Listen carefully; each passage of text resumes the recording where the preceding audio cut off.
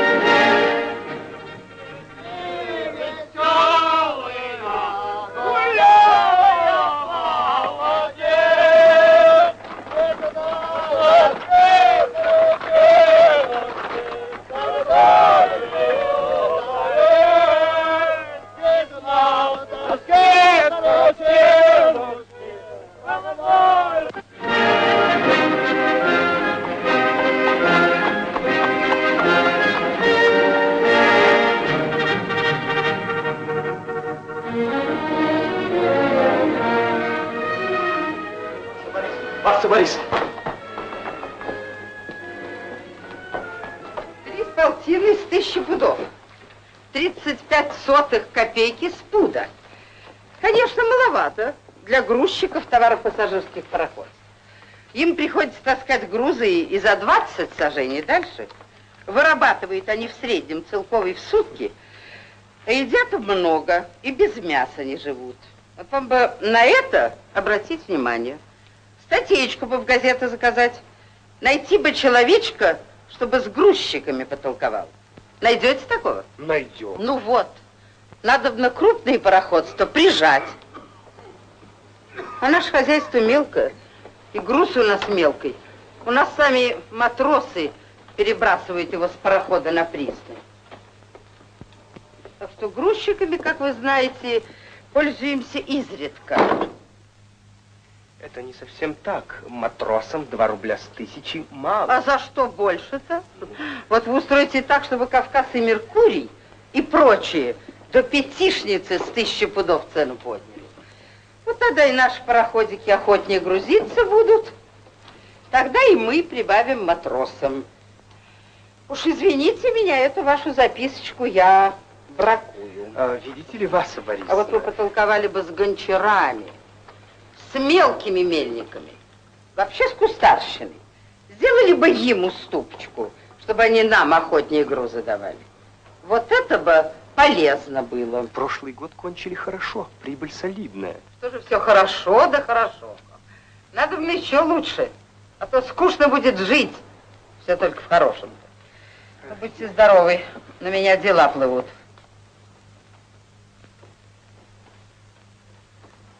Типичный русский консерватизм.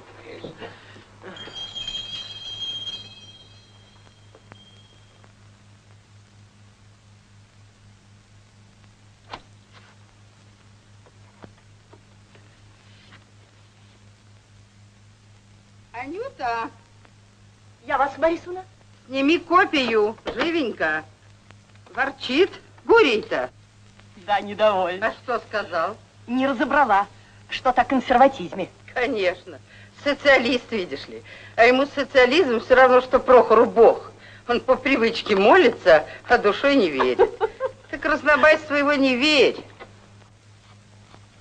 О чем вчера беседовали? Рассказывала о сотрудничестве немецких социалистов с королем ихним. Гляди, как бы он тебе брюхо не натискал своим социализмом-то. Нет, я выучена. Он за Натальей Сергеевной ухаживает. Знаю. Ну, Надка не глупа. Он и за Людочкой.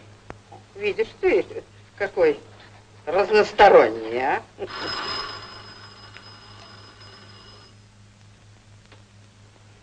Да я. Пожалуйста, жду. Да. Квартирант Мельников. Доброе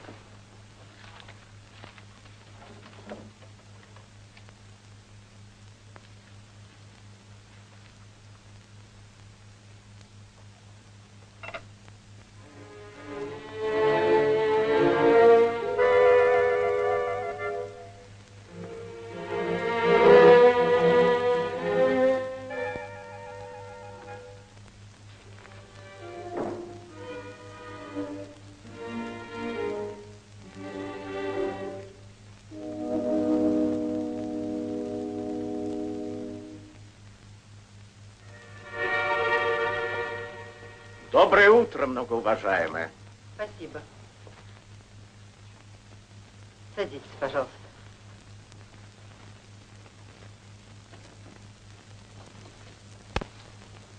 Ну, что?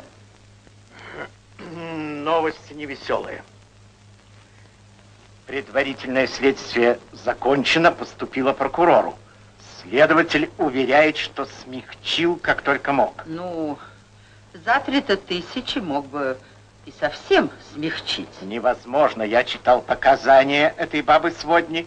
Она там подкровенничала, как на исповеди. Значит, э, суд будет? Неизбежно. Наказание-то какое? Возможно, каторжные работы. Как это называется у вас? Что именно? Да вот эм, баловство это с детьми. Растление вот какое липкое. Теперь что же будет? Прокурор составит обвинительный акт, вручит акт обвиняемому, арестуют его. Как всех троих и сегодня эту? Конечно. А прокурор может еще смягчить? Прокурор может. Но наш метит на высокую карьеру и едва ли решится. Хотя слух есть, что со стороны соучастников деяния хлопочут. Ага. Ну-ка, давайте похлопочем и мы. Попытайтесь, я прошу вас. Вы предложите прокурору сделку, чтобы он не заводил шума. Мне нужно это дело похерить. Совсем похерить. Ведь у меня дочери. Вас, Борисовна, при всем моем уважении к вам и при всей благодарности за великодушие ваше... Ну вот что о благодарности мы будем говорить, когда кончим это дело мирно и прилично. Действуйте. Я совершенно не в состоянии, я не могу. Вы имеете в виду, что мне денег не жалко на этот случай. Если удастся, я векселя ваши возвращаю вам. Я могу прибавить еще э, тысячи полторы. Будет пять. Довольно? Да, но все-таки Да вы я... смелее, смелее. Лучше, если бы вы сами. Ну, знаете, это слишком жирно будет для прокурора, чтобы я ему кланялся. Платить согласна, а кланяться нет. К тому же я человек грубый, прямой, у меня просто не выйдет. Сегодня же, я прошу вас. Потом позвоните по телефону и назовите цифру. Желаю успеха. Ну, Разрешите откланяться, спешу в суд. да-да, спешите.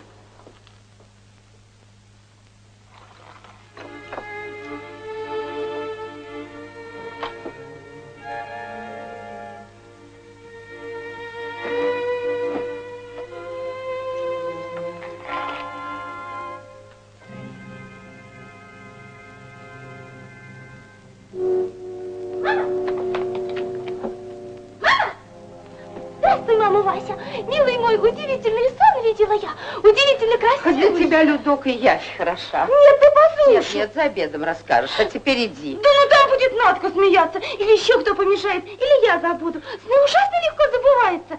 Ты здесь послушай. Нет, э, пошли ко мне Лизу, живенько. О, Боже мой, какая ты сегодня недобрая. Недобрая. Дурочка.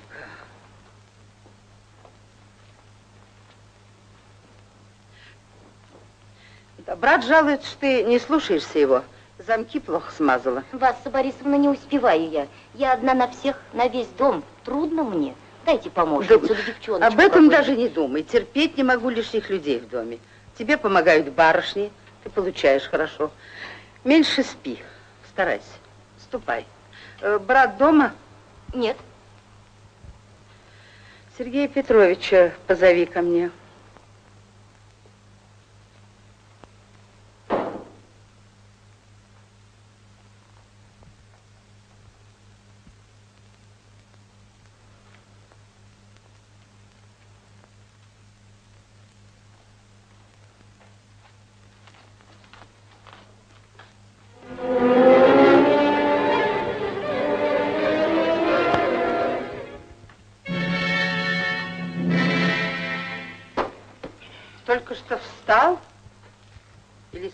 Собираешься? Что тебе надо? Не кричи, не страшен.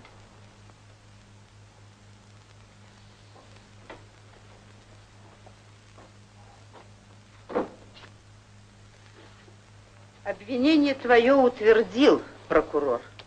Не верю. Врешь. Утвердил. Ведь я же ему под лицу девять тысяч в карты проиграл. Я намекал ему, еще одиннадцать дал. На днях получишь обвинительный акт. После этого арестуют тебя, в тюрьму запрут. Пожадничала. Пожадничала. Мало следователю дала. Мельникову, видно, мало. Сколько дала, скажи? За растление детей полагается каторга. А ты рада? У тебя дочери невесты. Каково им будет, когда тебя на каторгу пошлют? Кто порядочный замуж их возьмет? У тебя внук есть. Ему скоро пять лет минет. Лучше бы, Сергей, тебе человека убить, чем пакости эти содеять. Тебя, тебя убить следовало, вот что. Убить, жестокое сердце твое вырвать и собакам бросить. Замотала ты меня, запутала ты. Не ври, Сергей, это тебе не поможет. И кому врешь? Самому себе. Не ври, противно слушать. Прошу тебя, не доводи дело до суда. Не позорь семью.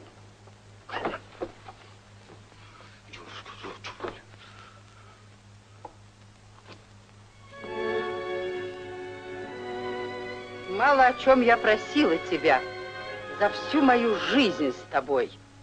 За тяжелую и постыдную жизнь с распутником и пьяницей.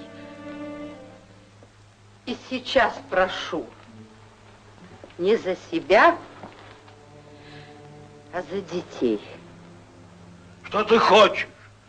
Что тебе надо? Что? Ты знаешь. Не быть этому! Нет! Хочешь, на колени встану? Я перед тобой. Отойди! Пусти! Прими порошок. Уйди! Ты подумай. Тебе придется долго сидеть в тюрьме. Потом весь город соберется в суд смотреть на тебя. После этого ты будешь долго умирать арестантом, каторжником. В позоре и тоске страшно и стыдно будешь умирать. А здесь сразу, без боли, без стыда, сердце остановится, и как уснешь. Иди прочь! Пускай судят, все равно! А дети? А позор? В монастырь попрошусь. Пускай постригут. В схимники. Под землей жить буду, а буду. Глупости говоришь. Прими порошок. Нет, ничего от тебя не приму. Прими добровольно. А то что? Отравишь? Сергей! Вспомни о дочерях. Им жить нужно. За пакости отцов дети не платят. А за матерей? Бессмысленно, я сказал. Ты пойми, Сергей, я молчать не стану. Я скажу на суде, как ты приводил в мой дом гулящих девок, как распутничал с ними, как показывал гулящим Людмилку и Наталью, как учил их вино пить. Врешь! Это Прохор! Брат твой учил! Прохор! Людмилку запугал.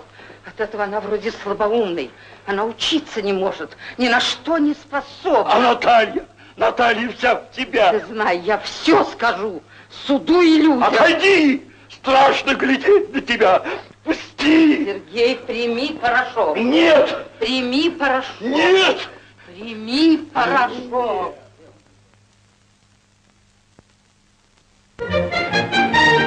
Шел!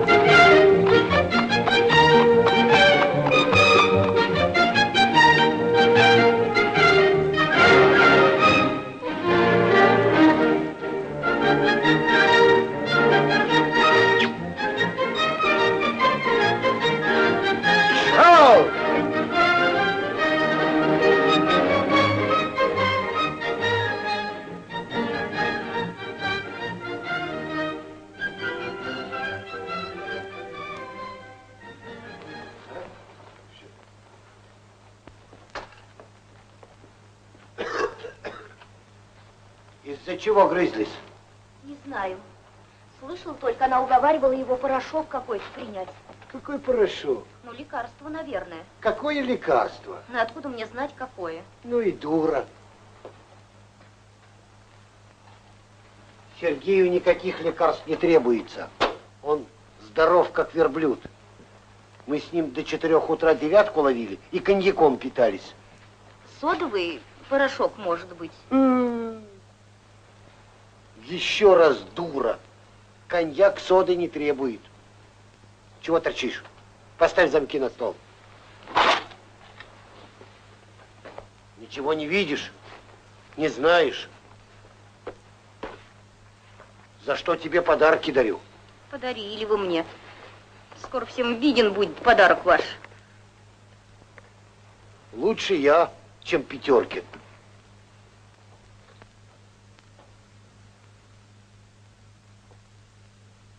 Передвинь кожаное кресло. От солнца кожа портится, а ему 65 рублей цена. Солнцу? Креслу. Подарок мой сестре. Солнце ничего не стоит. Постой, постой. Ты что это? Шутки шутить? Ты смотри у меня, однако. Не забывайся. Солнцу. Избаловала тебя сестра, как старая дева-кошку. Ступай к чертям!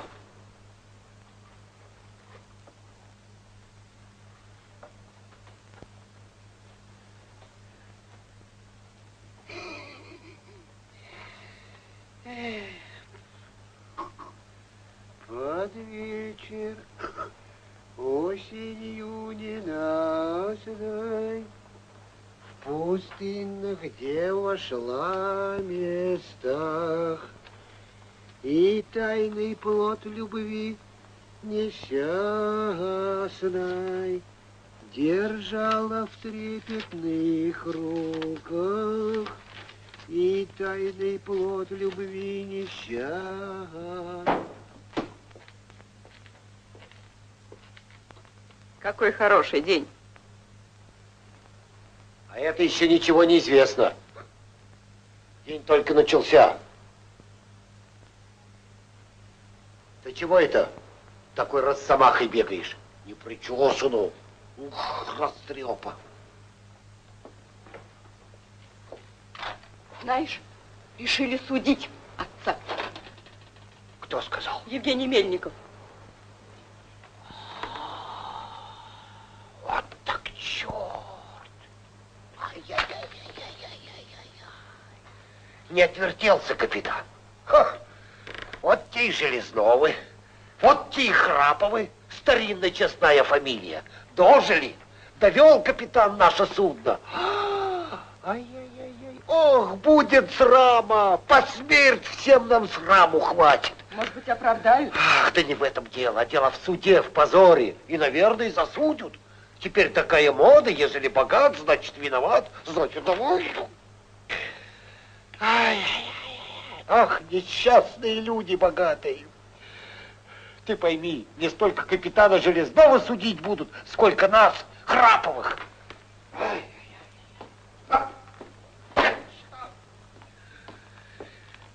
Ничего нельзя сделать? в Америку бежать, куда все жулики скрываются. А подкупить суд? Да, делали. Сестра не одну тысячу посеяла, чтобы скандал погасить. Полиции дано. Следователю дано. Не вышло. Не вышло, значит.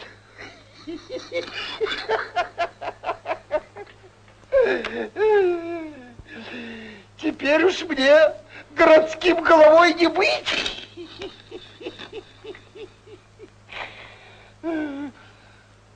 И тебе с Людмилкой женихов своего круга не найти даже с преданом вашим. Запачкал вас. Папаша, сукин сын, проходимец. Вот идиотка. О, Господи, простите, Господи. Мать? Ну да. Она не идиотка. А на кой черт лезла замуж за капитана этого? Почти на 20 лет старше ее. Вы уговаривали. Он приятель ваш. Ха-ха, Я. Я. Ха-ха, я. Я. Я человек не от мира сего. Ох. Да, да, да, да, да. Я добродушный, артист в натуре. Я молодой мечтал в оперетке комиков играть, а он, он по морям плавал. Эка важность. Мало ли дерьма-то по морям плавает. А она его любила? А ступай ты к черту! Это не любовь, ежели девка от своего стада отбивается. Это безумство. Ежели дворяне на цыганках, на актрисах женились, то нашему сословию это не пример и не указ.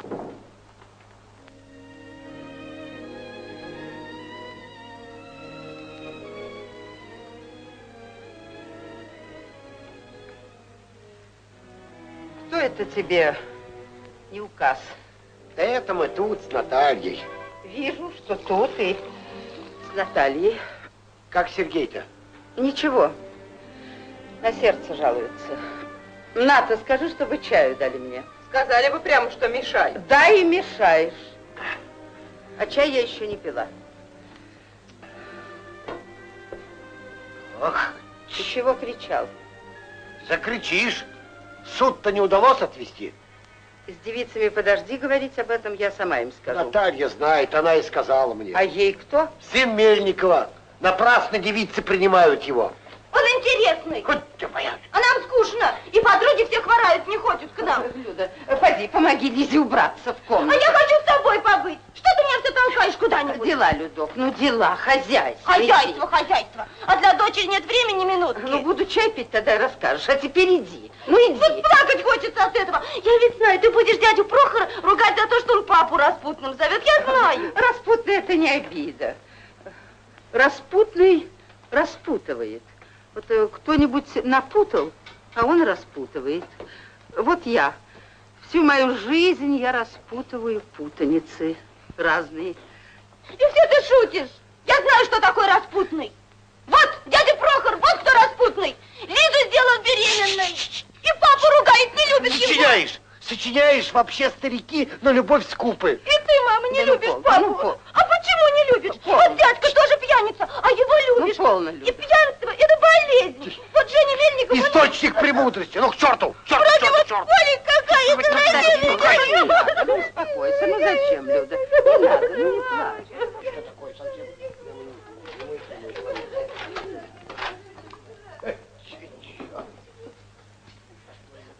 Вечер осенью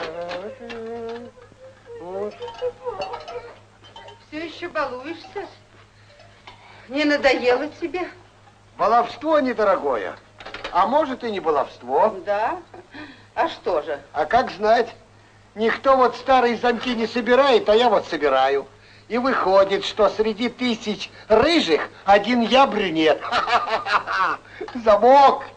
Замок это вещь. Все на замках. Все заперто. Не научились бы запирать имущество, так его бы у нас и не было. Без узды коня не освоишь. Видишь ты как? Даже не глупо. Наталья, разливай чай. Разливай. Ты вот говоришь, деньги зря трачу, а я вот за этот амбарный замок семь целковых дал, а мне за него уже 25 дают. Вот соберу тысячу замков и продам в музей тысяч за 20. Ладно, ладно. Дай бог нашему теляте да волка поймать.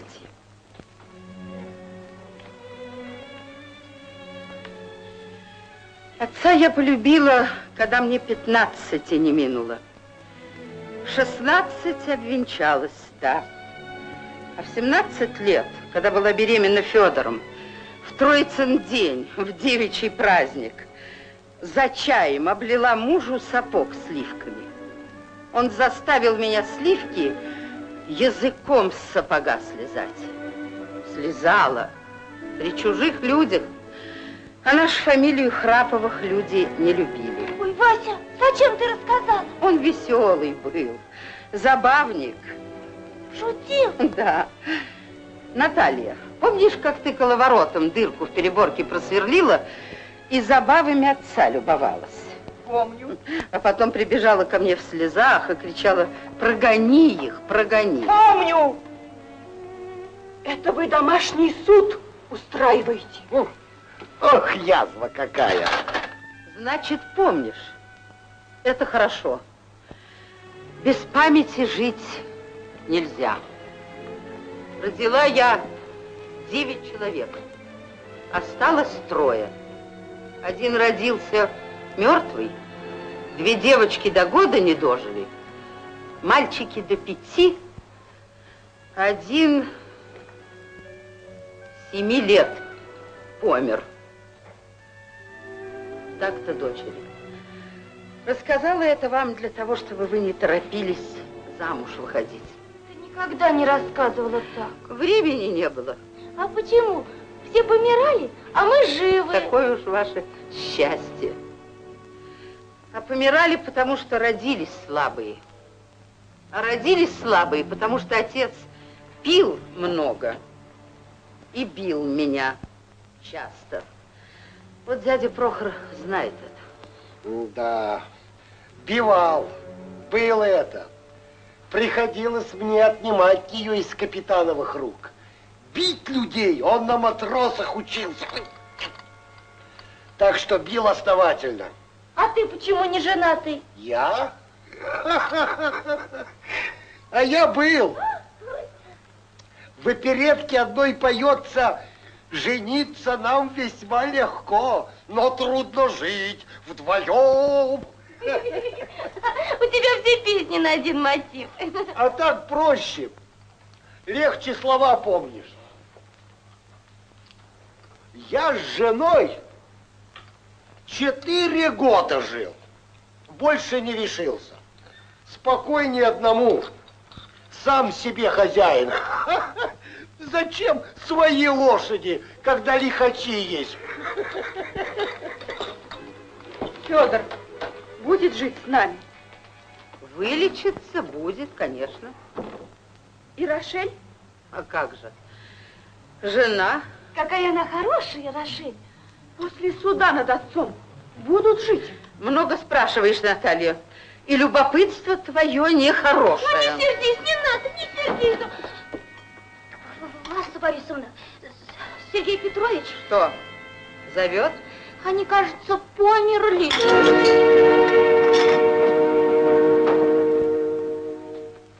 С ума сошла!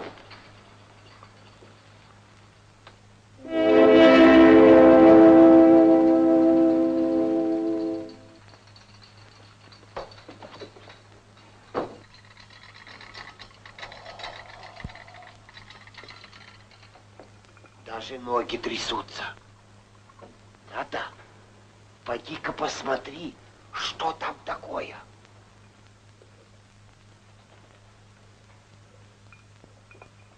А если помер, то судить некого. Иди, говорю.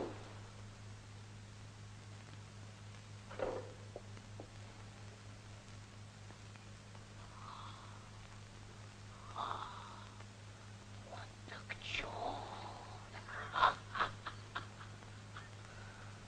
Вот так черт.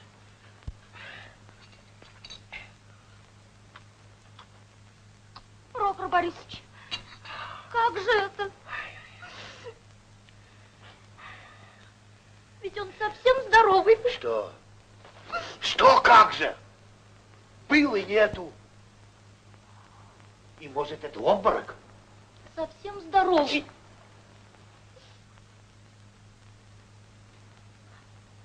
Прохор Борисович, Давича, порошок-то. Что? Что?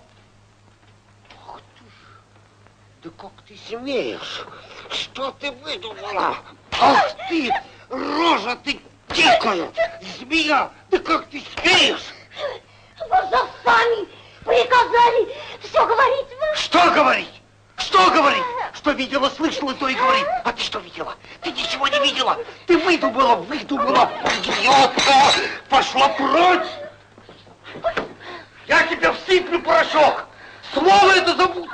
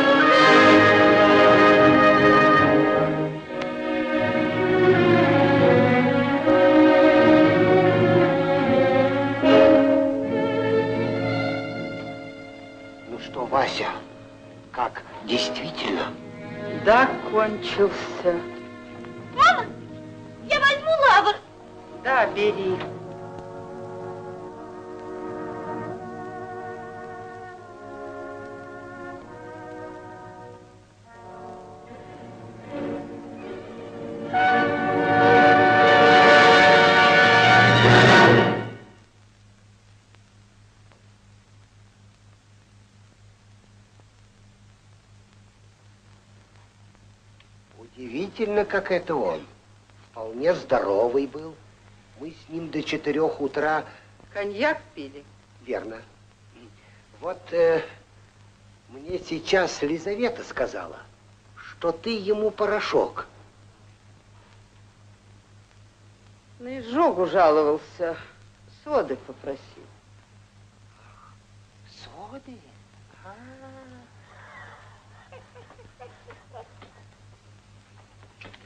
Дядя Прохор, ты ужасный. Папа скончался, а ты улыбаешься. Что ты? Ничего, Людок, ничего, ничего.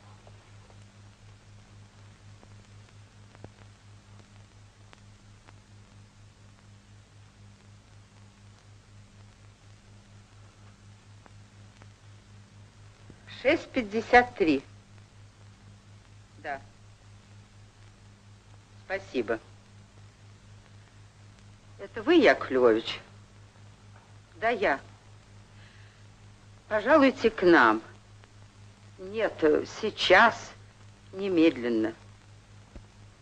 Да. Сергей Петрович скончался. Нет, совсем здоров был. В одночасье никто не видел, как. Пожалуйста, жду. Богатырь ты, Васа, ей-богу. Это что еще? Что ты плетешь? Опомнись, дурак.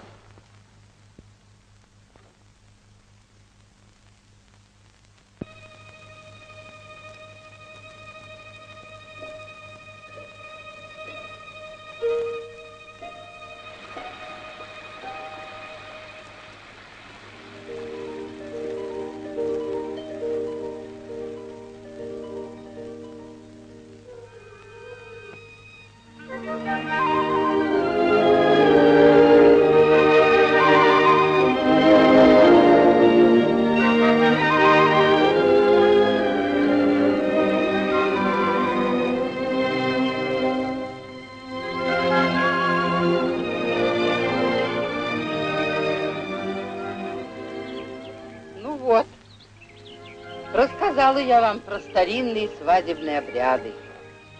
Рассказала, как в старину мужья с женами жили. Страшно жили. И глупо очень. А почему люди несчастны, а, Вася? По глупости несчастны. Почему несчастный, я не знаю, Людок. Вот э, Онегин с Натальей знает. По глупости, говорят. Но говорят, да и сама я видела, что умные-то несчастнее дураков. Да, но если принять, что богатый умнее бедных, Богатые, конечно, умнее бедных. А живут дрянно и скудно. И никогда богатый не веселится вот так от души, как Это бедный. верно. Значит, нужно жить в бедности. Вот-вот, Натка, попробуй, испытай. Выходи замуж за Онегина и поживи. Он будет подпоручиком в пехоте, а ты полковой дамой. Есть такие. Приданного я вам не дам. И будете вы жить на 40 целковых в месяц. На эти деньги попить, поесть, одеться, обуться, гостей пригласить, покормить. Детей заведете на эти же деньги, да. Я детей родить не стану. Зачем несчастных увеличивать? Это умно, конечно.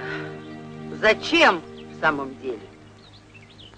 Так вот, Онегин, впереди-то у тебя 40 целковых в месяц и денщик. Каждый день будет котлеты жарить из дешевого мяса с жилами. а я, может быть, во флот перейду. Я тоже не пойду замуж. Страшно очень. Я лучше буду путешествовать. Ботанические сады смотреть, оранжереи, альпийские луга. Все это переделать надо. Браки, всю жизнь, все. Вот-вот, займись, Надка, переделай. Гурий кротких тебя научит, с чего начать. Я без него знаю. С революцией. Революция вспыхнула, да и прогорела. Один дым остался. Это вы про Государственную Думу. Да хоть бы и про нее. Там головницы шипят. Сырое дерево горит туго. А гурий кротких научит. Он меня за 200 целков в месяц хозяйствовать учит. Ну, а тебя там целков за 15 будет учить революцию делать. Полтина за урок, а? Пришел ко мне служить, у него штаны мятые были. А недавно гляжу в театре. На его жене уж там кое-какой золотишко блестит. Так-то, дочери. Матросы, значит. Онегин. Это не решено. Так почему вы зовете меня Онегиным? Решай. Тебе давно пора юнкером быть, а ты все еще кадет. Ну, а Онегином я тебя зову. Он не похож на Онегина. Разве? Да такой же надутый. Впрочем, тебе, Надка, лучше знать, на кого он похож. Ни на кого. Из людей. Я совершенно не понимаю, когда вы шутите, когда говорите серьезно. Странная манера. Подожди, постой, постой, что ты? Ты не обижайся, ты понимай. Погоди, я тебе сейчас случай расскажу. Тут у нас в Затоне забастовка была. Вот пришли солдаты. Слесарь Везловцев и говорит, подпоручик, правда. Вы, говорит, ваше благородие, 40 целковых получаете. А я зарабатываю 75. Могу догнать до 100. Так как, говорит, вы служите богатым, а я богаче вас, то кричать на меня, на богатого, вам как будто бы и не следует. Не вижу в этом ничего интересного. Мать любит дразнить людей. В этом грешна. Я людям не друг. Неверно это, Вася, неверно. Верно, Людок, не друг. Ну ладно, поговорили, побаяли, идите-ка к себе, а я поработаю. Ты, Анна, останься. Ну, пошли, пошли. Ну, иди, за ужином увидимся.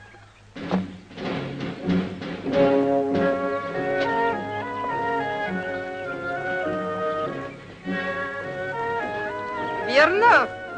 Отец Евгений вписался в союз русского народа. Верно. Это он дурак из-за сына. Женьку хотят выгнать из кадетского корпуса.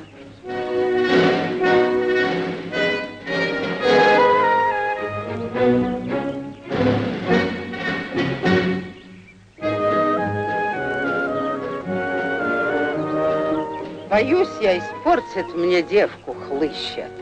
По-моему, Наташа от скуки занимается им. Нет, злым скука не знакома. После смерти Сергея Петровича она очень мрачной стала. И, конечно, слухи эти.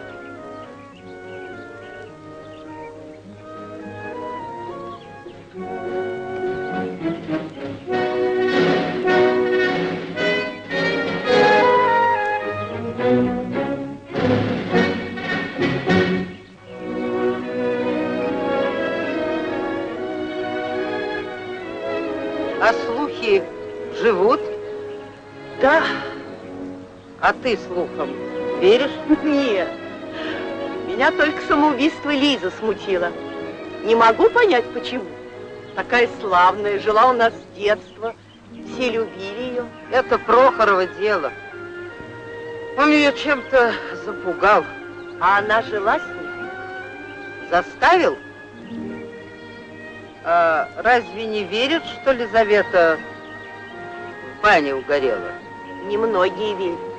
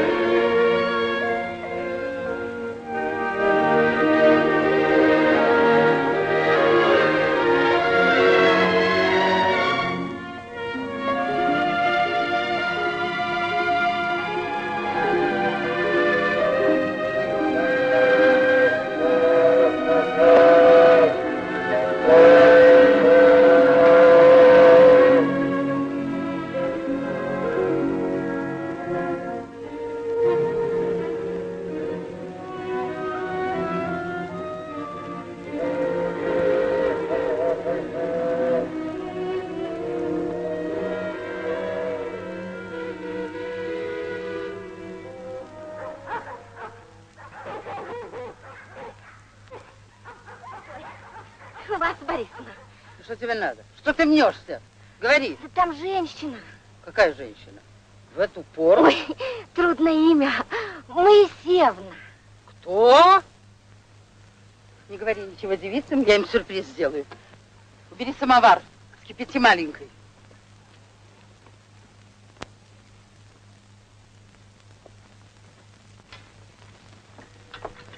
Ну как, привыкаешь? Ой, трудно. Я думала, что мне только девицам служить, а у хозяйки своя будет горничная. Прохор Борисовичу лакея надо. Я за ним ухаживать не могу. Пристает. Ой, такой бесстыдник невозможный. Он сейчас гуляет в одной нижней рубахе и поет. Поет все одно какое-то. А вчера, ой, мы все ушли спать, а он гремит железный поет. Такая тоска от него. Че это, Нанна Васильевна? Ненормальный он. Алкоголь, то есть пьяница. Я вам очень благодарная. Дом хороший. А люди плохие, хочешь сказать? Ой, я людям не судья, сама судимая. Хорошо, я оправдали, а все-таки в тюрьме сидела. К тому же рассказывают, что до меня здесь горничная повесилась в бане. Это ложь, она угорела в бане. Готовила в бане и угорела, беременная она была. А, видите, беременная. Глядите на меня, темно-голубые. Вот сюда. Ему нужно много солнца. И. Извините, вы в день веселый мая. Так, Хорошо. Средней скошенной травы головой качая. Какие у тебя волосы ужасные. Жесткие должно быть, да? даже нисколько. А ну пощупайте. Точно у льва. Вот это верно. Это все говорят. А кто это все-то? Знакомые вообще люди. А что это ты на коленях стоишь? Приятно мне на коленях перед вами. Ну уж, сочиняешь. А я бы никогда на колени перед мужчиной не встала. А вам это и не требуется, он сам перед вами встанет. Вы с мужчиной можете делать что угодно вашему любопытству. А я ничего не хочу и не буду. В этом ваша воля. Ну, подождите, я спрошу садовника, что взять отсюда?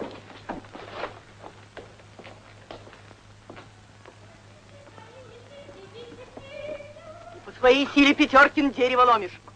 А ты не ревнуй. Как знать, все может быть, все надо пробовать. А если вас узнает о твоих разговорчиках? От кого узнает? Вылетишь из дома. Минуту. Ты не скажешь.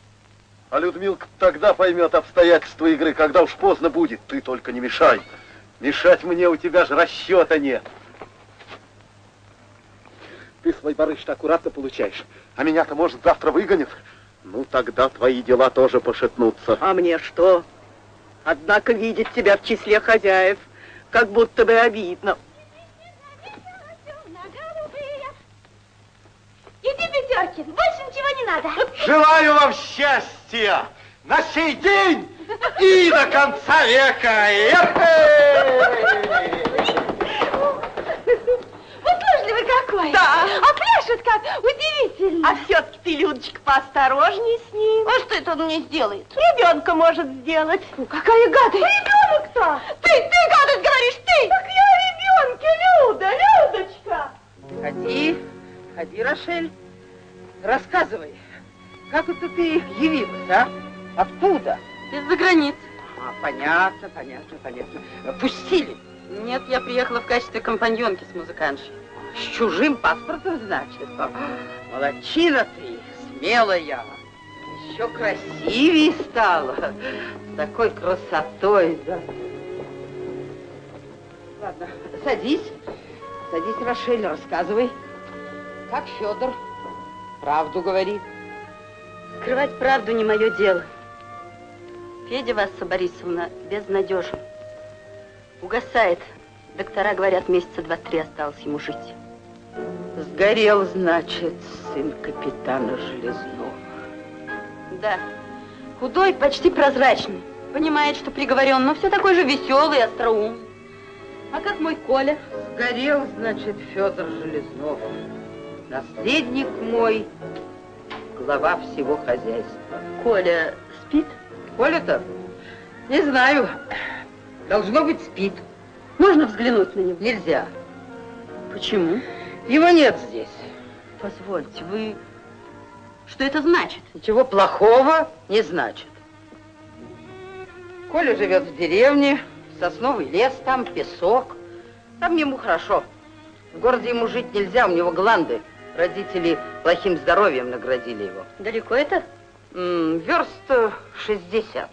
Как же мне туда съездить? А тебе не нужно туда ездить.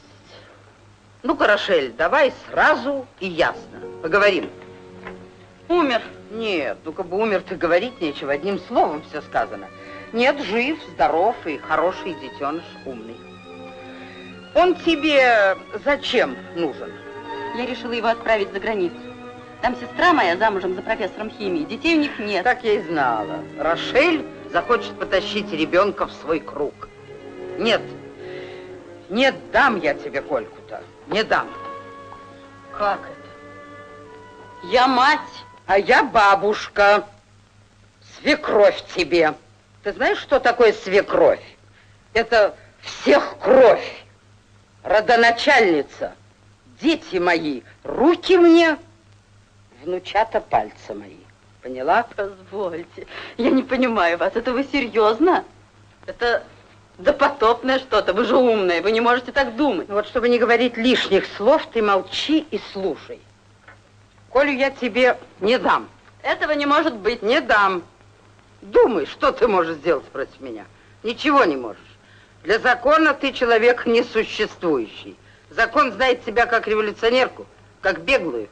Объявишь себя, посадят в тюрьму. Неужели вы воспользуетесь моим положением? Не верю. Вы не сделаете этого, вы отдадите мне сына. Пустяки ты говоришь. Все это лишние твои слова.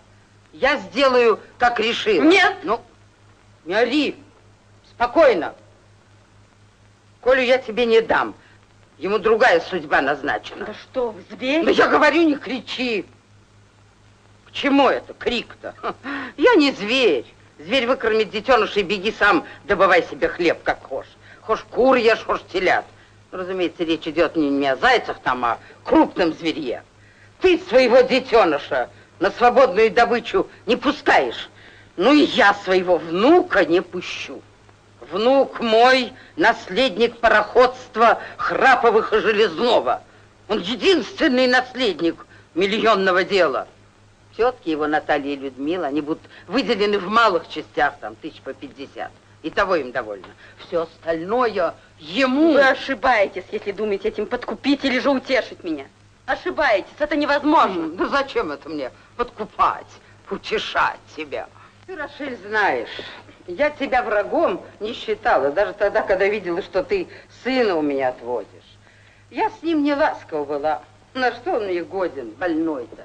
И видела, ты его любишь. Я сказала тебе тогда, люби. Ничего, немножко радости больному нужно. Я тебе еще благодарна за Федора. Все это ложь. Это отвратительно. Я поверить не могу, это зверство. Не веришь, да? Ругаешься, ничего, ругай.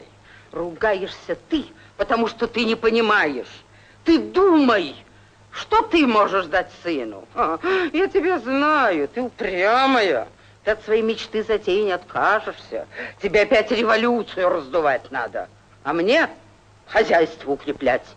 Тебя будут гонять по тюрьмам, по ссылкам, а мальчик будет жить один, в чужой семье, в чужой стороне, сиротой. Помирись, Рошель. Не дам тебе Кольку-то. Не дам.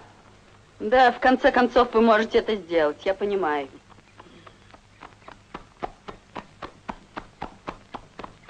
Вы даже можете выдать меня жандармам. Мгм, Могу. И это могу. Все могу. Играть так играть. Чем можно тронуть дикий ваш разум, звериное сердце? Опять звериная. А я тебе вот что скажу. Люди-то, они хуже зверей. Хуже! Я знаю. Люди есть такие, что против них неистовство хочется. Дома их разрушать, вымораживать, как тараканов, голодом морить. Вот как. Черт вас возьми. Ведь вот есть же у вас в этой ненависти вашей что-то ценное. Ты, Рошель, умная.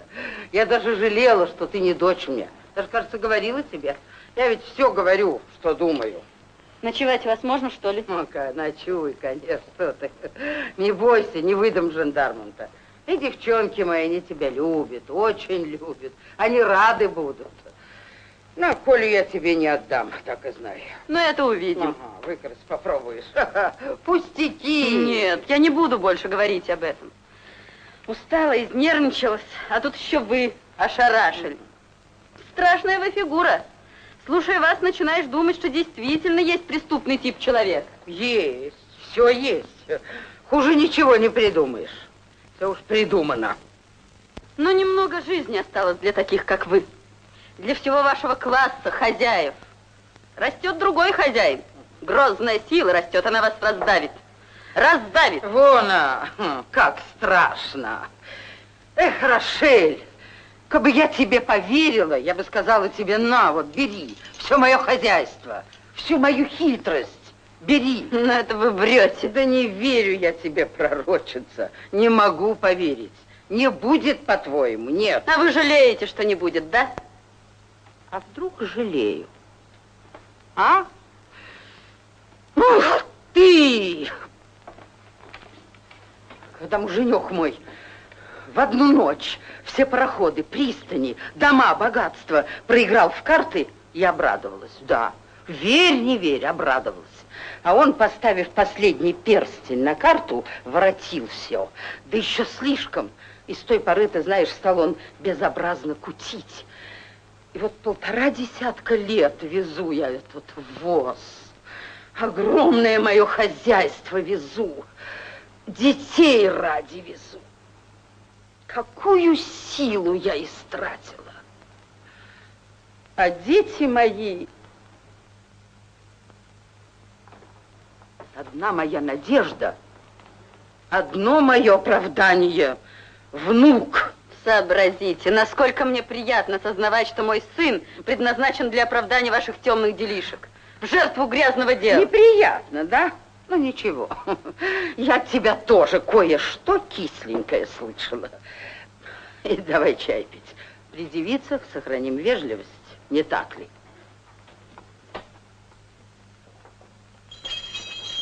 Не надо говорить им, что я приехала нелегально. И спор наш не следует знать им. Они ведь ничего не решают. Понятно, не надо, понятно. Зови девиц.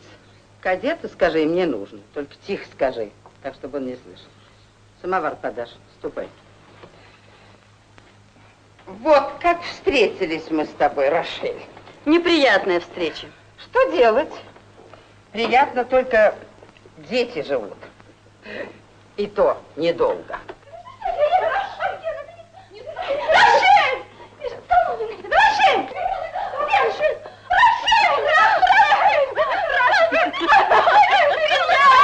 Рошель! Не телеграфировала? Почему? Надка спрашивать любит. Ей говорят «здравствуй», она говорит «почему?». Ты, Люд, не изменилась. Ты такая же милая. Даже как будто ты не выросла за эти два года. Конечно, нет. А вот Ната Постарела? А девушке не скажешь, возмужала, но именно такое впечатление. Говорят, созрела. Это иное. Ну, рассказывай, рассказывай. Как Федор, выздоравливает? Нет, Федор плох. Зачем же ты уехал от него? За сыном, за Колей. А я его не даю. За границу-то. Ну иди, иди, иди. Раша, милая, он стал такой прелестный, Коля. Умный, смелый. Он в лесу живет, в Хомутове. Это замечательное село.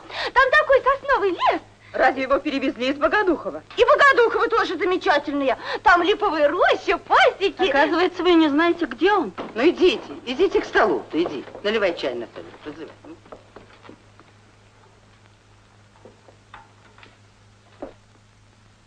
Расскажи, как ты живешь. Я? Удивительно хорошо. Вот видишь, весна. Мы с Васей начали работать в саду. Рано утром приходит она. Вставай, выпьем с ней чаю и в сад. Ой, Раша, какой он стал наш сад. Вот пойдешь у него, когда он росой окроплен, и весь прямо горит на солнце. Ну вот, как Лиза, как Панчевый, даже сердце замирает до того красиво. Колокольчики мои, цветики степные. А в третьем году цветочных семян выписали почти на 100 рублей. Ни у кого в городе нет таких цветов, какие у нас.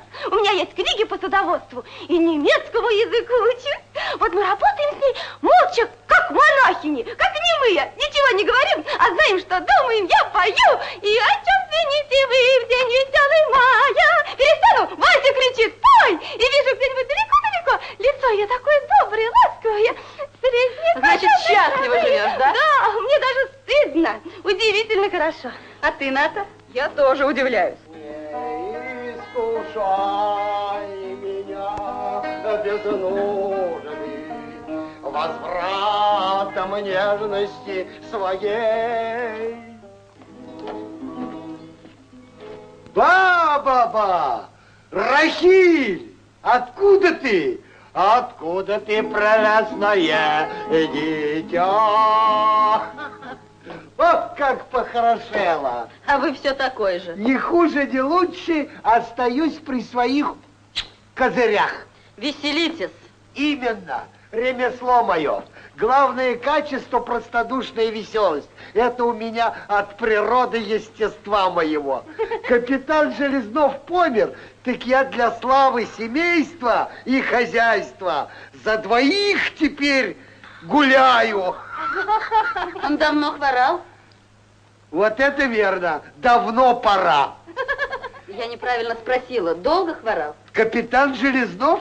А он не хворал. Он в одночасье пав и со святыми упокой, упокой и покой. Дядя! Перестаньте! Это безобразие. Что безобразие? Со святыми безобразие? Ты меня, девка, не учи, молодая еще учи.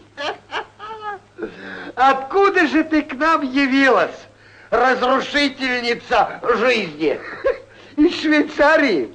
Федор, ты жив? Жив. Плох. Да, плохо. А, Нестойкое потомство Железновых. Мы храповые покрепче будем. Впрочем, сын твой, Колька, хороший разбойник, приметливый. Как-то мы с Железновым поругались за обедом.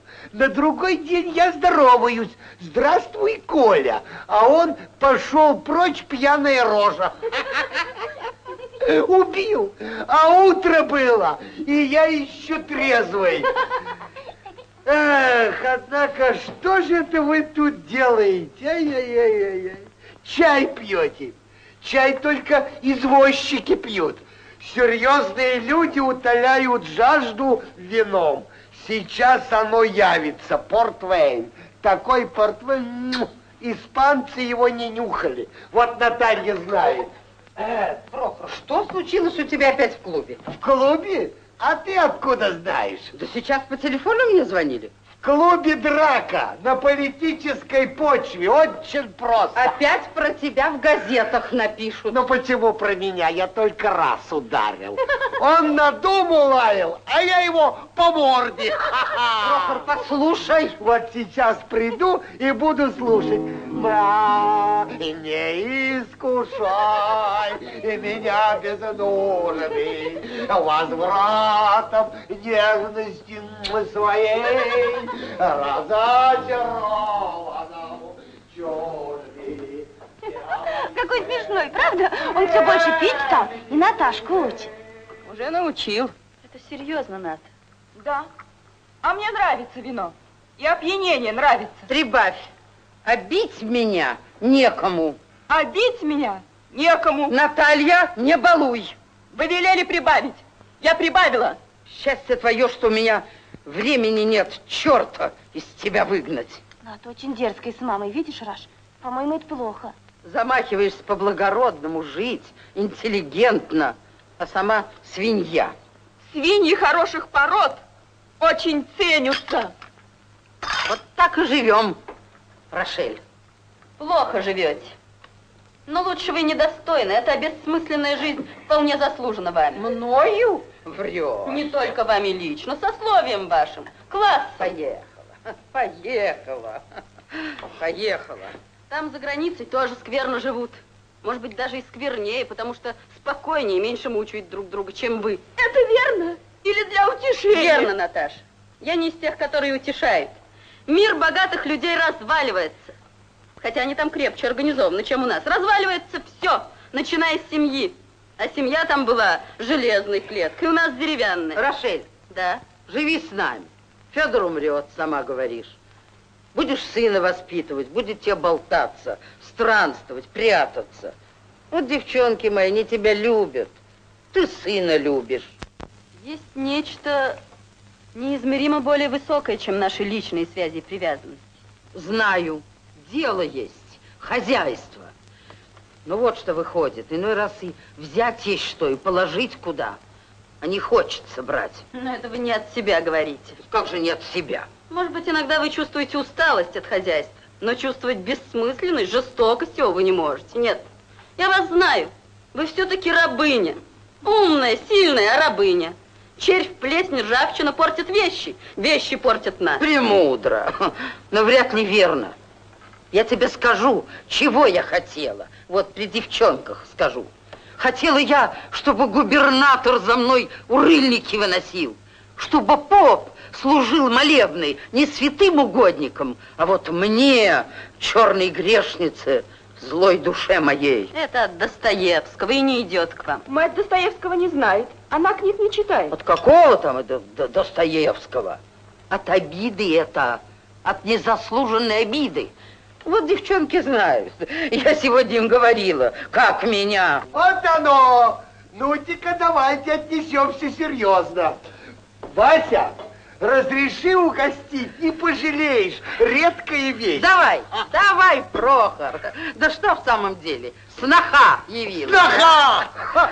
Прохор, кого ты там в клубе избил, а? Квартиранта Мельникова по роже еще кого-то ерунда заживет. А знаешь, Мельников-то ведь он в союз русского народа вписал. Ну и что из этого? Я вон в телефонной книге вписан, и то не горжусь. Рюмки! Меня. Меня, меня. Да я. Какой пароход? Почему? Вот идиоты. Кто грузил? В Уфе, Терентьев. Эй, Ну, рассчитать болвана. Мое присутствие зачем? Арестовали всю боржу? А еще что, кроме кожи? Ах, дьяволы! Ага, санитарная комиссия там, сейчас приеду. Инспектор тоже там? Ага. Вы без меня тут смирно. У меня скандал. Идиот-приказчик погрузил кожу без санитарного осмотра, без клеем. А у меня там, кроме кожи, у меня еще и там овчина, лыка, мочало. Поеду. о!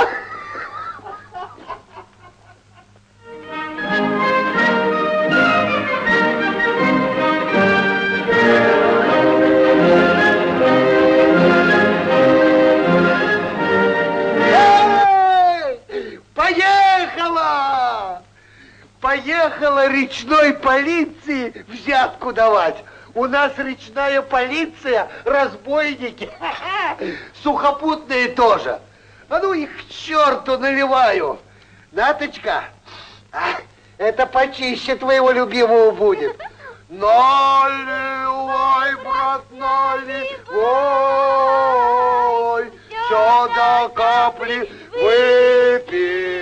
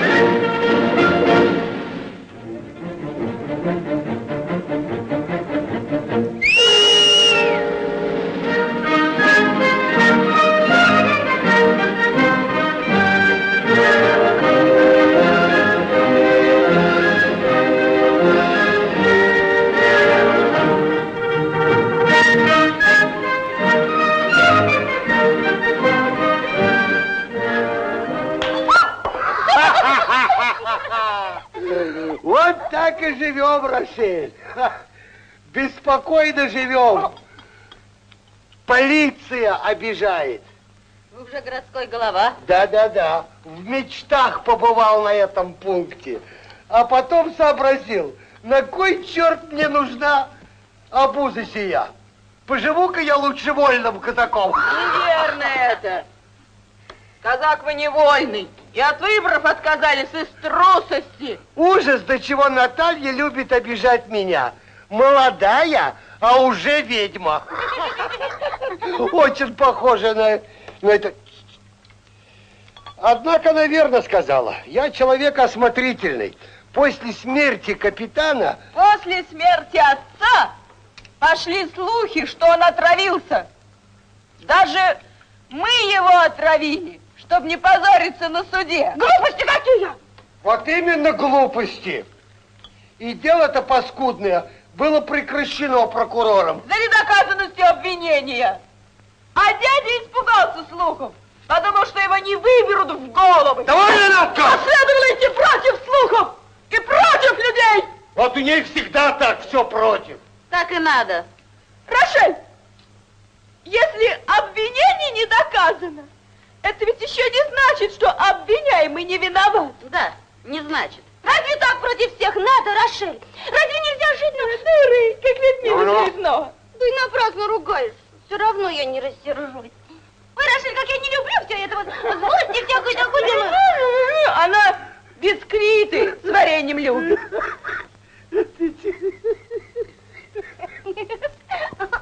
А тебе завидно, что люблю? Ты злишься, потому что у тебя аппетита нет. Вот ел бы побольше, так не сердилась бы. Я не стережусь, блям-блям-блям-блям, хотя больно ноет, грудь, блям-блям, я не стережусь, я не стережусь, блям-блям-блям-блям-блям. Людмилка, кроме бисквитов и разных сладостей, обожает еще что-нибудь военное. И чтобы с перьями, как у индейцев. И вовсе это неправда. Вот что! Давайте-ка пошлем все к чертовой матери. Все это семейность, прошлое и все вообще. Ха! Сочиним маленький кавардак! Покуда хозяйки дома нет. Рошель, я тебе плесуна покажу, такого ахнешь. Люда, зови пятерки. Вот это хорошо! С гитарой! Я не стережусь, блям-блям-блям-блям, больно ноет грудь, блям-блям, я не стережусь, я не стережусь, блям-блям-блям-блям. Когда к сыну поедешь? Он далеко? Версты 23-25. Утешный человечек. Здоровьишко слабенькое, а хорош. Бабушка не хочет отдавать его мне. О, это она правильно. Тебе при твоей беглой жизни сын ни к чему. А ты как думаешь, Ната? Требуй, чтобы отдала. Не станет отдавать. Выкради. Ого! Да, Ого! Выкради, увези, спрячь. Ты видишь, какие мы все. Ведь ты же видишь, Рошель. Выкрасть, увести. Это я не могу сделать. Почему? У меня есть другое дело, более серьезное. Серьезнее сына? Да? Зачем же ты родила, если у тебя есть дело серьезнее? Зачем? Да, это моя ошибка. Какое дело? Все равно. Это то самое дело, о котором ты мне говорила два года тому назад? Ну, я помню, очень помню. Но не веришь.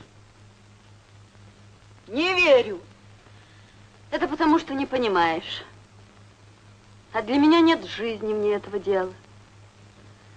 И пусть я потеряю, никогда не увижу Колю, Постой, постой. Постой. Постой. Постой. Постой. Выкрасть? Ха-ха!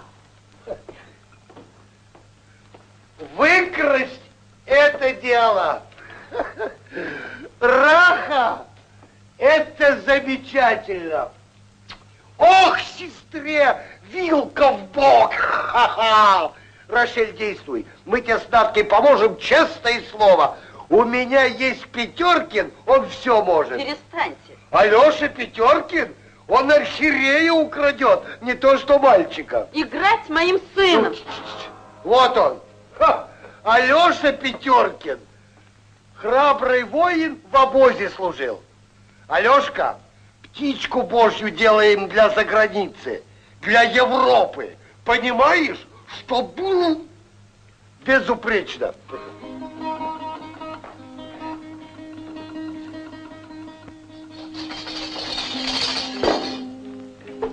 Девицы, девицы, девицы, девицы.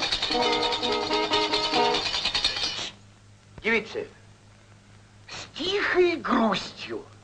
Бубен гудит, а не бухает. Да уж знаем, знаем. Начали.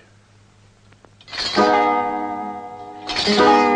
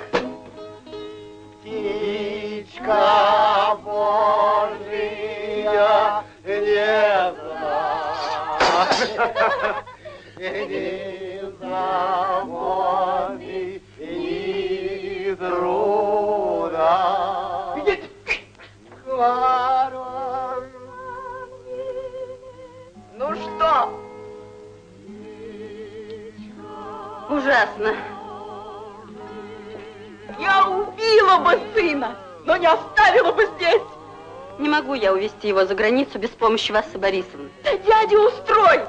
Он рад чем-нибудь ударить мать. Выкрадет, спрячем, а потом переправим к тебе. Куда? Я не знаю, где буду жить. Если удастся вернуться в Швейцарию, проживу там несколько недель. Мне нужно жить в России. У меня нет возможности воспитывать Колю. А там в лазанью сестры хорошо было бы. Не понравилось? Нет. Не чувствуешь искусства? поете вы нестерпимо. А, виноват. По линии выпивки, а также игры в преферанс почти непобедим. Ах, пенью не приспособлен природой. Душа мягкая, горло сухое хрустит. Пятеркин, пошел прочь. Бездарная личность. Не понравились мы. Эй!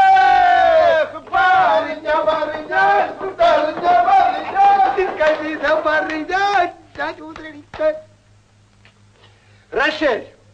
что? Рашель. Пойдем ко мне. Я тебе коллекцию замков покажу. Я видела ее. Э, когда это было? Ты теперь посмотри. У меня 37 крепостных, 42 сундучных с музыкой, ты это нигде никогда не увидишь. А кроме того, Рашиль, пойдем, я тебе два слова скажу, важных.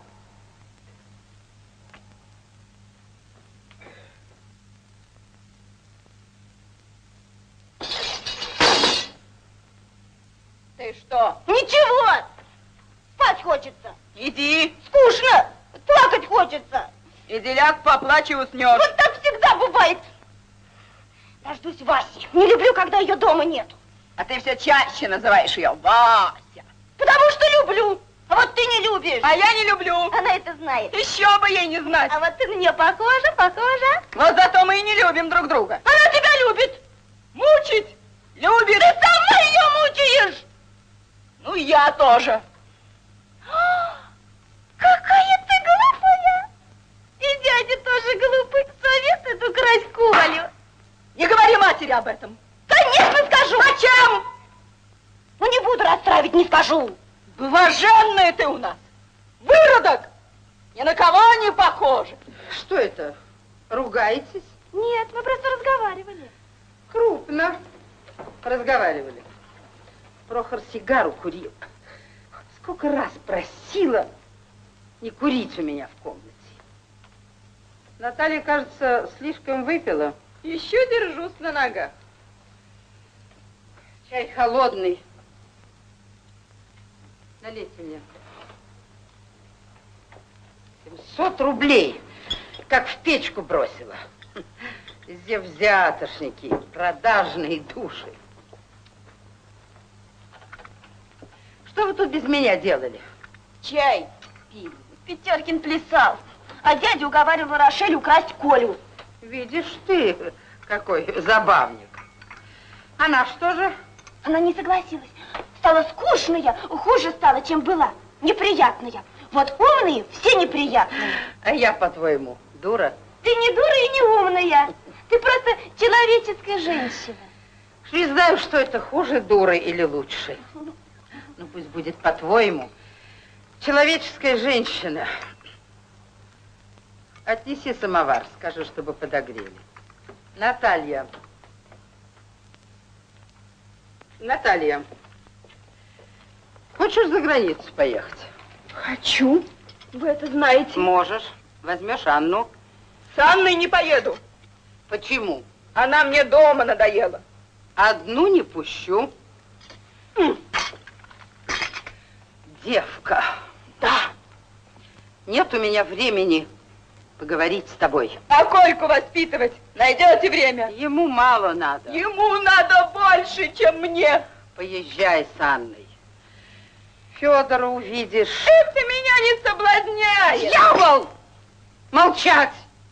Ну, хорошо, молчу. Что это вы? Да-да-да. Зря, зря крикнула. Даже сердце колет взволновали меня. Что, Рошель, Прохор предлагал выкрасть Колю. Он выпивший, он и трезвый может.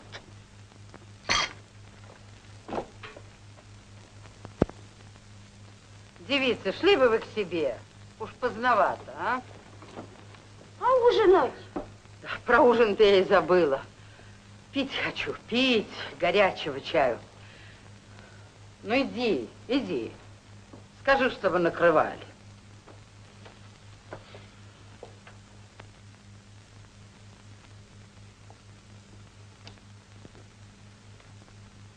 Ну что, Рошель, как? Слушайте-ка, Васса Борисовна, отдайте сына. Я его отправлю за границу. Опять, значит, спорить хочешь? Нет, не отдам. Я совершенно не представляю себе, что вы будете делать с ним. Как воспитывать? Не беспокойся, сумеем. Мы люди оседлые, у нас деньги есть, наймем самых лучших профессоров, учителей, выучим. Выучите. Не тому, что должен знать честный человек. Жить, коли в этом доме будет с балалайками, с гитарами, с жирной пищей, с полупьяным Прохором Храповым, с двумя девицами, одна полудитя, другая слишком озлоблена. Васса Борисовна, я неплохо знаю ваш класс и здесь, в России, и за границей. Это безнадежно больной класс.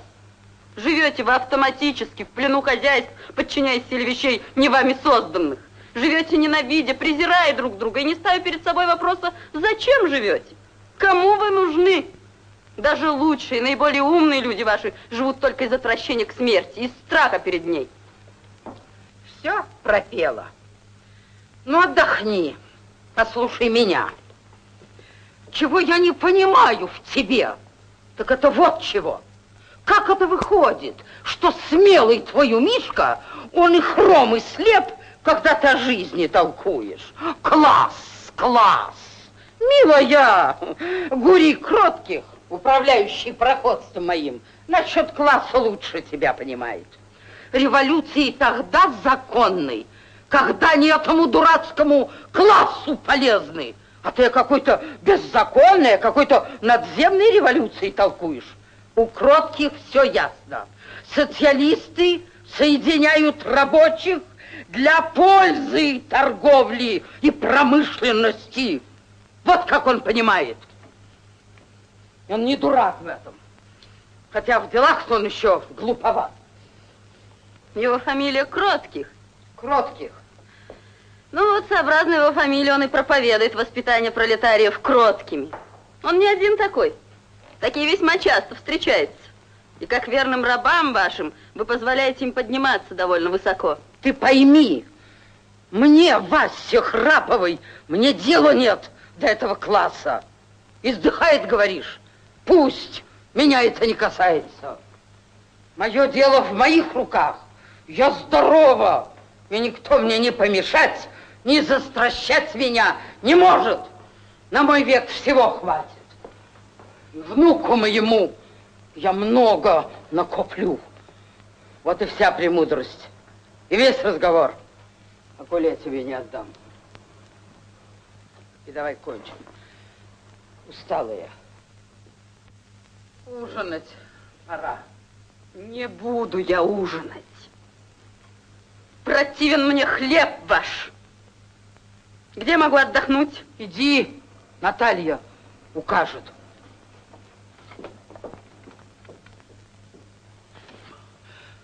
Она, хлеб мой противен ей. Кто бы посмел мне это сказать? Ух, язва.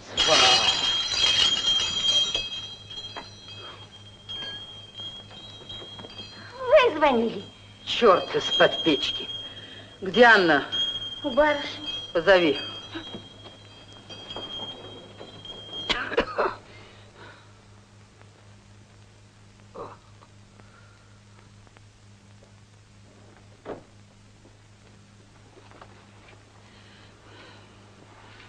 Что тут было без меня? Прохор Борисович предложил выкрасть Колю. Сам предложил? Да, сначала он сказал, правильно, тебя сын ни к чему, а потом вдруг обрадовался. Это, говорит, сестре вилка в бок. А как? Наталья? Это она предложила выкрасть. Путаешь. Врешь. Я не путаю. Так было.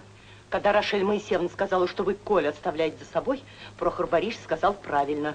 А когда Наташа предложила выкрасть, так и он тоже. Ему бы только укусить меня. Хоть за пятку да укусить. У меня, говорит, пятерки не то, что ребенка, херею украсть может. Ох, вредная собака. Пятеркина. Совершенно гнусный раб. Ни чести, ни совести. И такой дерзкой, такой жестокой. Смягчим. Не здоровится вам. А что?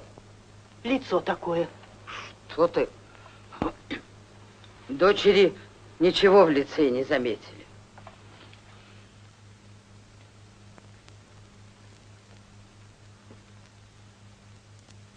Ладно. За границу поедешь, Анна. Я? Ты. С Натальей. А может быть и одна. Ой, господи, как я рад, то даже слов нет благодарить вас. Тебе не нужно благодарить меня. Ты заслужила. Ты никогда не врешь. Никогда. Ну, то-то. Федору письмо отвезешь. Наталье письма не показывай. Тотчас напишешь мне, как Федор. Врачей спроси. Ты немецкий язык помнишь? Помню, помню, помню. Ну вот. Если Федор плох, дождешься конца. Ну ладно. После об этом поговорим. А теперь вот что. Пойдешь сейчас в жандармское управление, спросишь полковника Попова, настоишь, чтоб вызвали, скажешь спешное и важное дело. Поняла? Да, вас Ну, спать- слушай. Слушай. Скажешь ему, что ко мне приехала из-за границы иммигрантка Прохиль Топас. Он ее знает, он ее арестовывал. И что если нужно опять ее арестовать, чтобы сделал это на улице, а в мой дом не приходил. Поняла? Да вас Да слушай! Если арестуют у меня в доме, то будет ясно, что выдала ее ты или я. И не хочу я, чтобы по городу опять дурацкие слухи пошли, поняла? Я не могу. Не можешь? Почему? Не могу решиться. Жалко, да. А Колю тебе не жалко? Ее все равно не завтра, послезавтра арестуют. Ты что, отказываешься услужить мне? Странно. Не понимаю, я. Да нет же, господи, боже мой, я за вас жизнь готова отдать. А за что я стану жалеть эту-то? Ведь вы знаете, она презирала меня. Ну, что ж там бормочешь? Не понимаю я, а? Да боюсь я идти ночью к ним, к жандармам. Ай, пустяки какие. Что они, сожрут тебя, что ли, там? Впрочем, да, время позднее. Попов, должно быть, где-нибудь в карты играет. Сделаешь это завтра, только пораньше.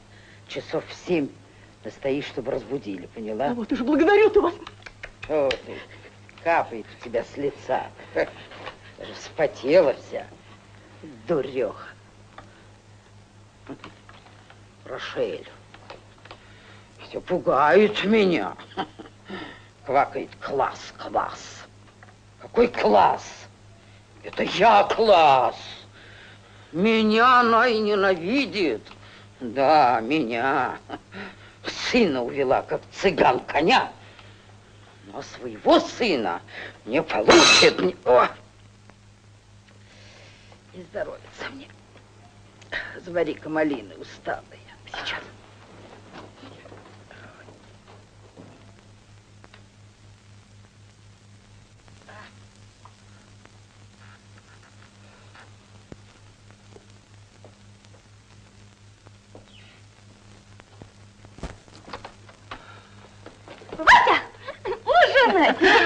Любишь ты поесть. Да, люблю очень.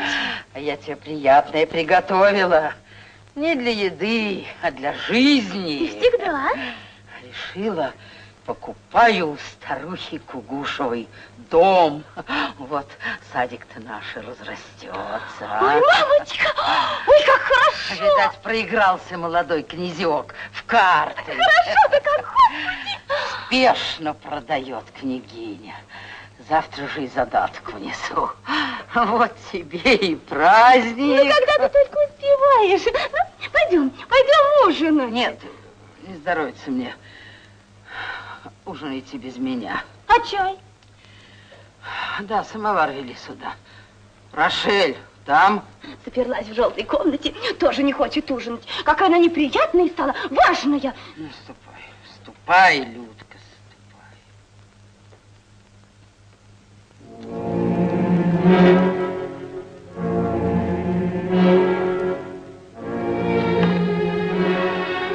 Дела растут дела.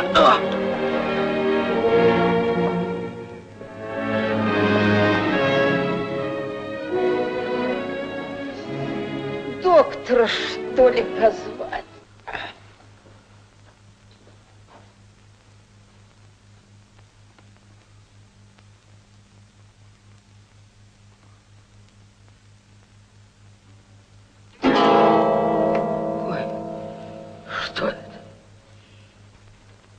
Тебе? Я за гитарой. Шел вон, черт! Иду, а как же, я же не собака. В барских комнатах не живу.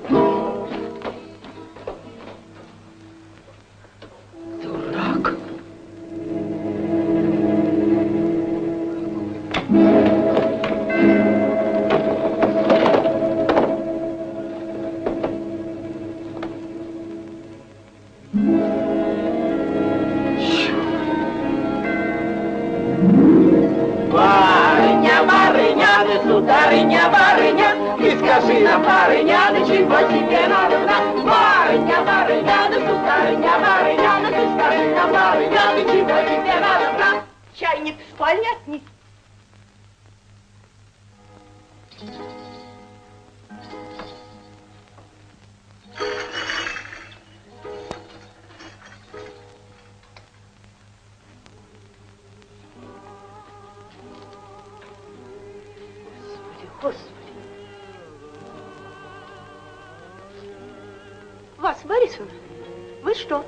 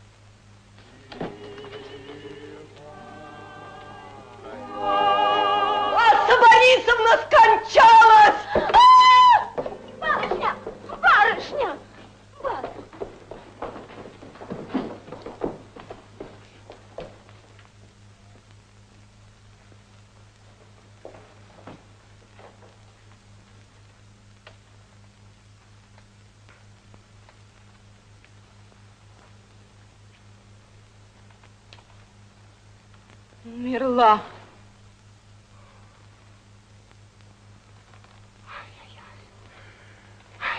Черт! Железнов в одночасье теперь она. Опять город начнет чепуху молоть. Вот что! Молчите. Что тут молчать? Надо. За Анной следить надо. Анна, она все знает. Ключи надо. Ключ от сейфа. Посмотри в кармане юбки, нет ли ключа. Посмотри. Не хочу, уйдите. Ну да как же уйду, посмотри. Уйдите!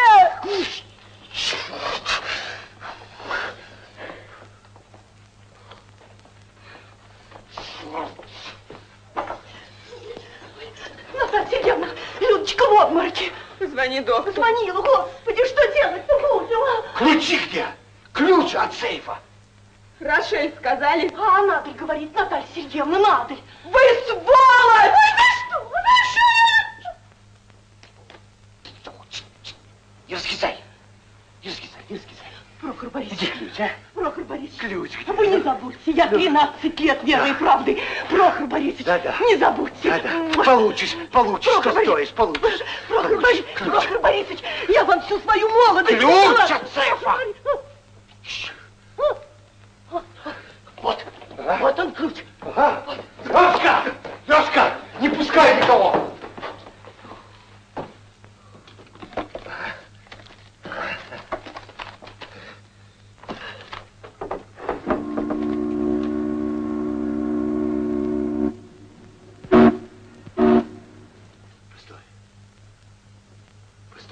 Что это я?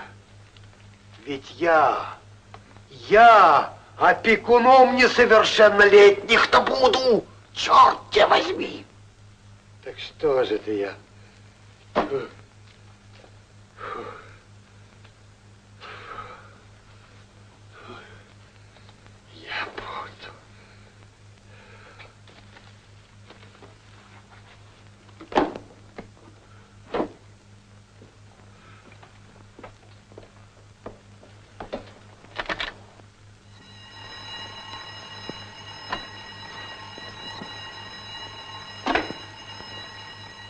Пошла прочь, Анна. Конец твоей кошкиной жизни. Пошла прочь. Пошла, пошла. Завтра же. Завтра пошла к чертям. К чертям пошла. Надоела ты мне, наушница. Надоела ты мне, стерлоза. Прохор Борисович, покайтесь. Напрасно вы это. Довольно, хватит, навровала. Марш! Нет, позвольте. Имею кое-что. Имеешь, имеешь. Я про то говорю. Имеешь.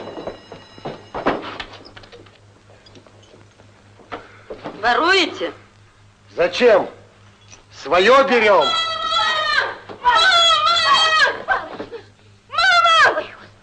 Свое. Что у вас свое?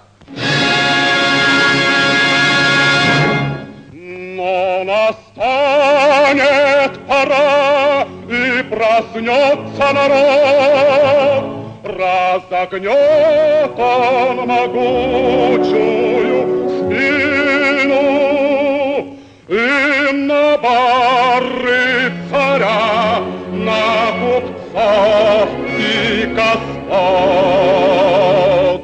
Он отыщет покрепче дубину,